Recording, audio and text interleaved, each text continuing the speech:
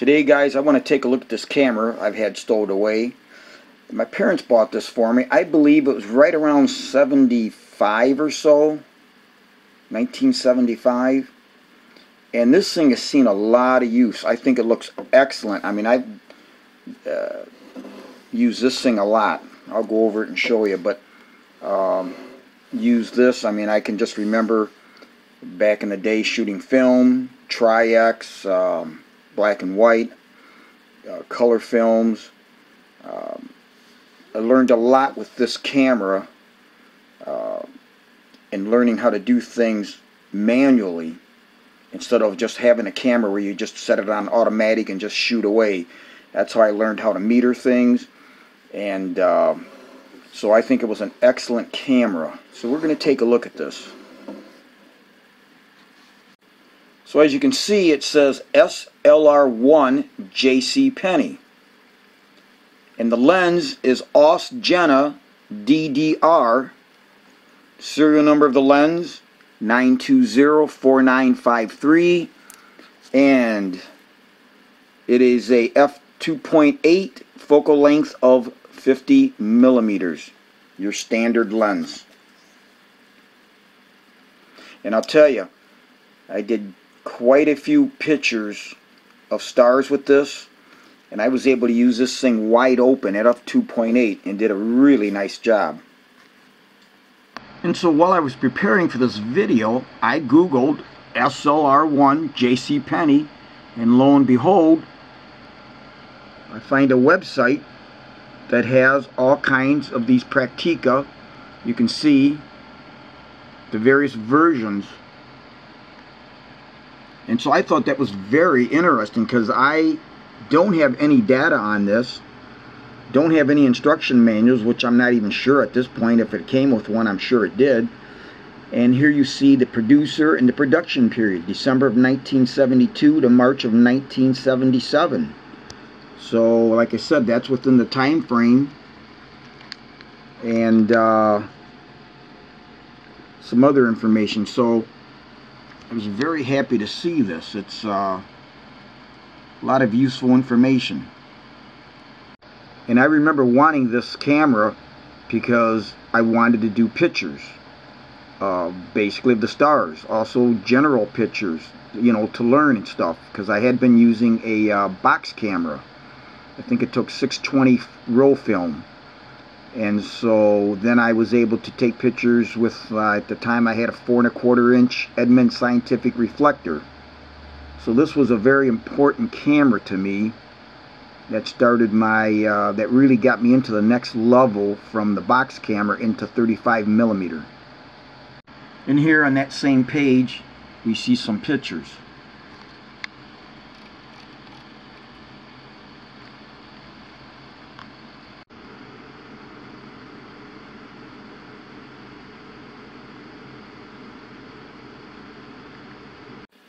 Now the lens came equipped originally with a plastic lens cap that fit over the outside diameter of this front of the lens and I replaced it at some point with this 49 millimeter metal one.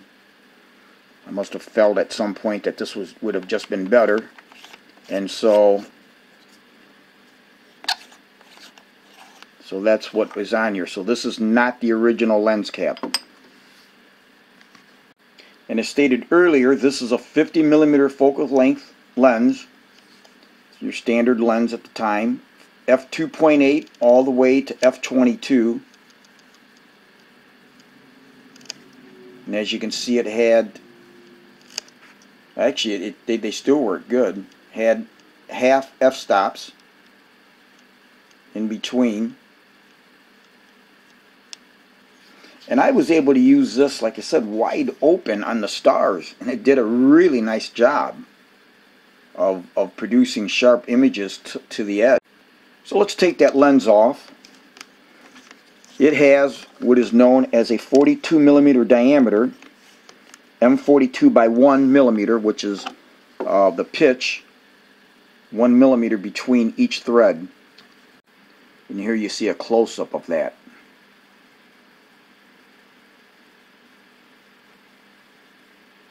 And this lens is just in spectacular condition as far as damage wise or anything uh, you know to the outside to the lens elements.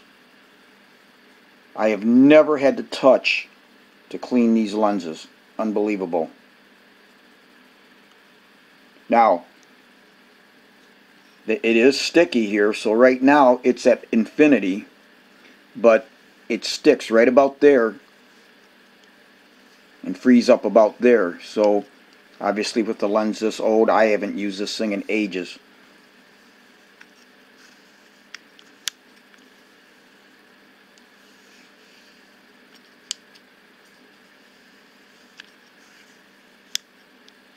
And then um, your f-stop ring it turns as I showed it turns nice and smooth. And then if we look Uh, let me set it to f22 this had a unique system which I'll show you in the camera body there's the pin in which I'll do a close-up later this bar when you took the picture it would let me turn it this way. It would come up because this is situated at the bottom, like this. So that bar would come up, hit this, and for as long as the exposure was on, would push that pin in. And here's what would happen. It would now close the aperture to whatever you had it set at. And then if you were on uh, two seconds, one second, bulb, whatever, it would stay open. As soon as the exposure was done, it opened up.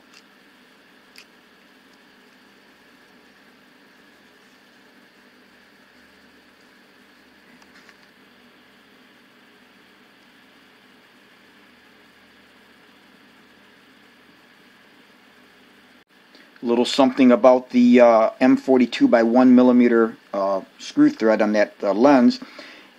The M42 mount was first developed by Carl Zeiss at their Jena plant in 1938. The M42 thread mount cameras first became well known under the Praktica brand, and thus the M42 mount is known as the Praktica thread mount. The M42 mount was also used by Pentax, thus it is also commonly known as the Pentax thread mount, despite the fact that Pentax did not originate it. Let's take a look at the camera body starting from the back side. And as you can see, as with a lot of older cameras, this, I don't know, mm, uh, not sure what kind of material, I don't know what you would call it, but it is starting to come loose, as you can see here, down around the bottom, and around here, so it's still, still on up here, but down towards the bottom, it's said it's coming loose. On the front side, it's looking good. There's nothing coming off here. Here you see the other the the, the back side, but the front edge of it. Looking at the bottom, we have the quarter 20 tripod uh, socket area. This is what you would do when you were done with the roll of film and you wanted to wind it back in, you push that button in, that disengaged the inside sprockets and allowed you to wind your uh, film back into the roll. And here we see Pentacon, Germany, East.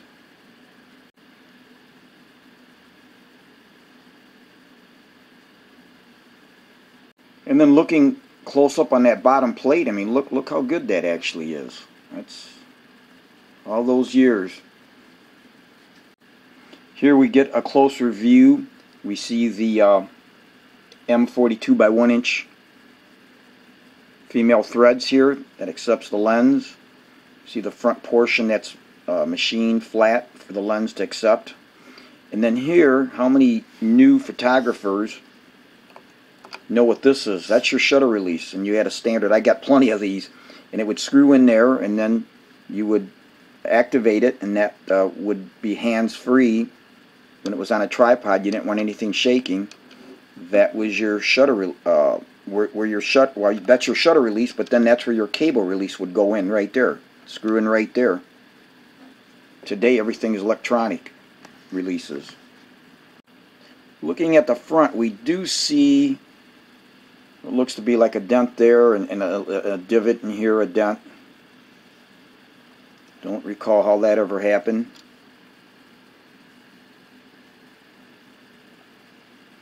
So this body wouldn't be considered pristine, but I would say it's in very good shape for the years.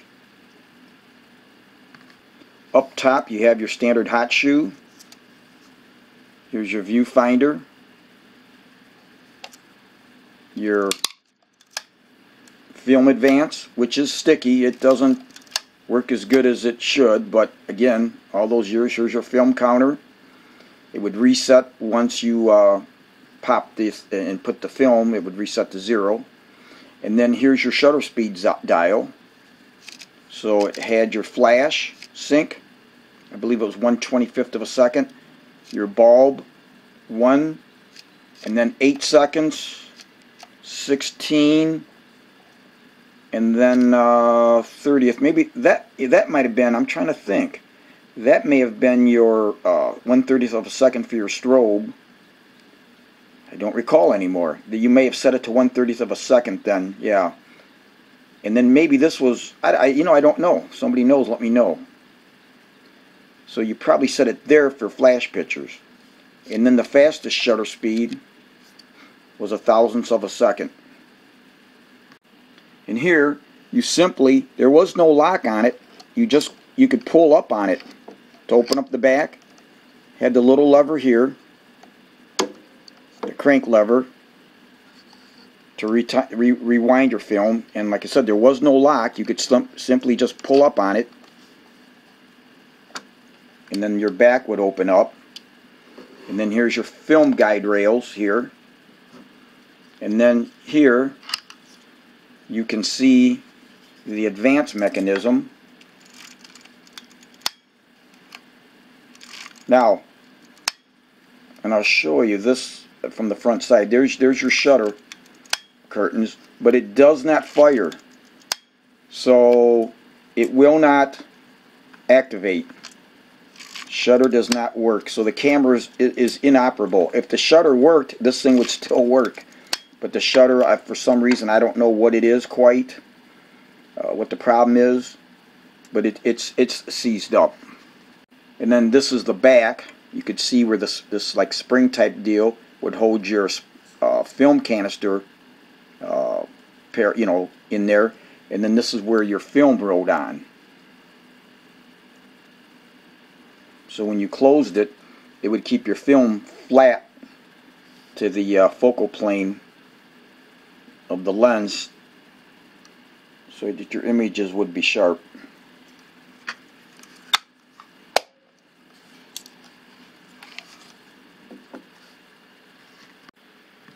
Here you see the, the lug for the camera strap.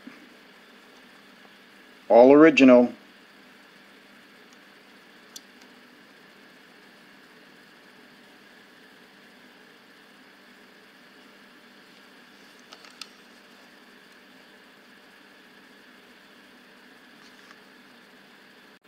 So next we're going to take a look into the mirror box before we go over anything else. And there you see the screen that uh, the image would be focused on. And then here is your mirror so that obviously light comes in, it gets bounced up into the pentaprism here. And I want you to take note of what looks like rust right here back there. I think that's the shutter curtains. I don't know if rust got on there or something that the shutters do not fully uh, roll and, and, and work and we'll show you that.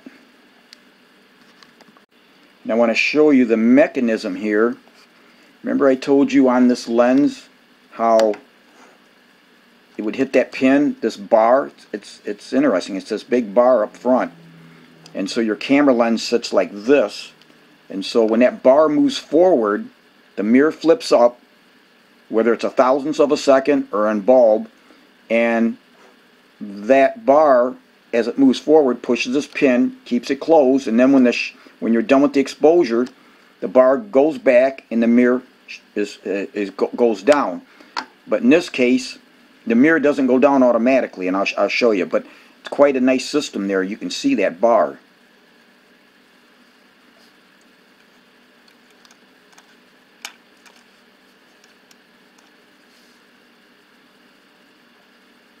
Can see the, the mechanics of it there.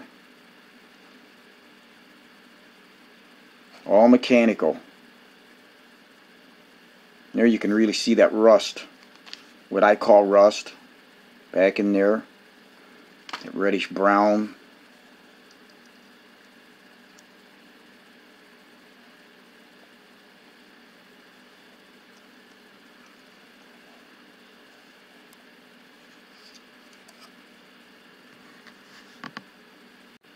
So now let's take a look at this. If we take and cock the shutter, get ready or advance the film, that, that sets everything. Because remember, if you, in the old days with these kind of cameras, if you took a picture and didn't cock the shutter, it wouldn't release. So once you activate it, you pull the shutter, okay, and then let's do this.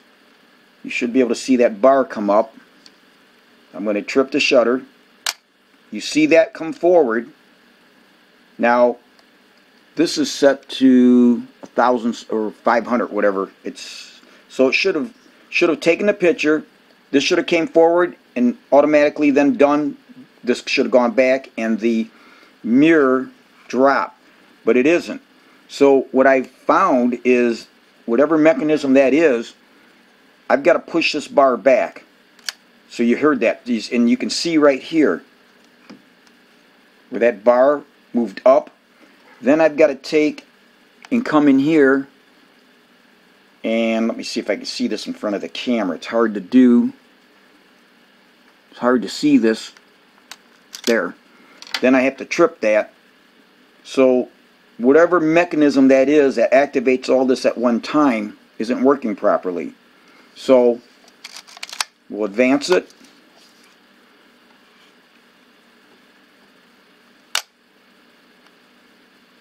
And then keep your eye on this piece right back here, this bar, and it's got a pin in there, just like that. And I'll push this forward, or push it back, that, that, uh, F, uh, aperture bar there, I'll call it.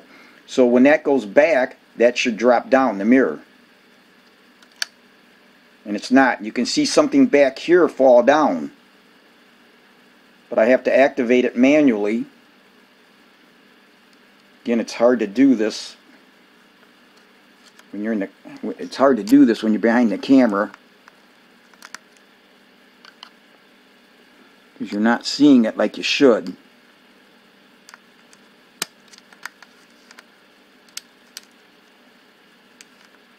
Well, there it is. And so even if I push, put the mirror up manually, it sticks.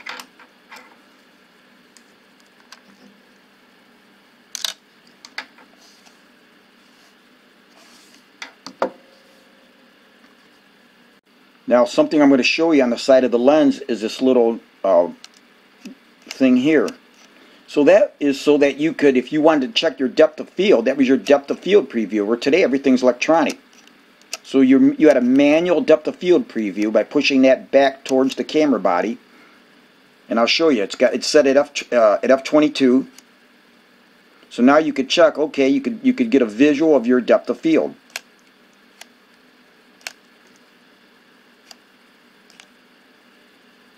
Next thing I'm going to do is just to show you how that works, if it uh, was working properly, open and close, but I'm going to cock the shutter then I'm going to trip the shutter and you're going to see where that lens will automatically, the aperture will close down for the picture. And again, if everything was working, it would close down.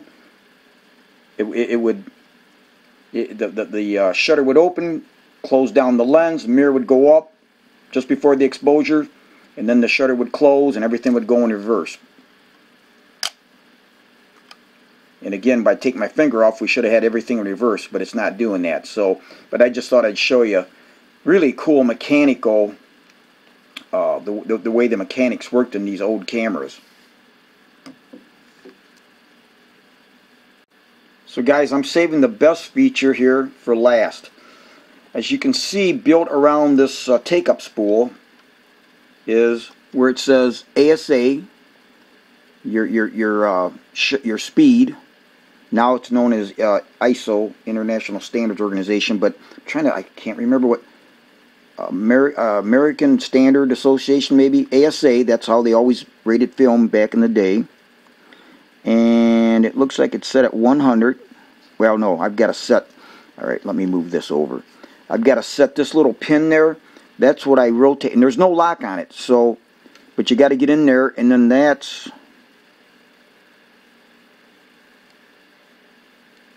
okay so you match that up here with the black line here to whatever your uh, camera speed is. So I've got that set to 100. And then what you got here is match needle. So you would turn this, and as you can see that needle moving, and then you had that round circle. Once you centered,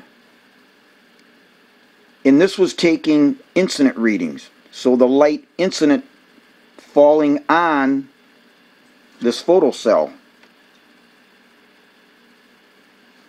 So that's what that was doing. And so you would match that, and then you'd come down here, and you could read directly. It's showing one second at f22. And then this is showing uh, uh, 1 125th at f2. You know, 130th at f4. By just using this match needle here. Something else it also had, you see this DIN there used to be a DIN number also, and I don't know if that was like a foreign or a metric size, you know, but uh, they had a DIN number which always corresponded to the ASA. So if you were using DIN, you could set it down here, but it would have, you know, like, uh, what is that, DIN 21, looks like, is the same as ASA 100. So you had the option of how you wanted to set that. And so to be clear, what you would have to do is if I'm shooting a subject here, okay, I'm going to shoot this. I would have to take the camera, I want the light falling on the subject. So I'm not taking a reflected reading, I want to take a reading of the light that is falling on the subject. So I'd go to, if this was the subject, I'd have to go with the camera, come to where the subject is, take my reading pointing to where the camera would be so the light falling on the subject is the same light falling on the meter then I would go in front of the subject and then I would take my picture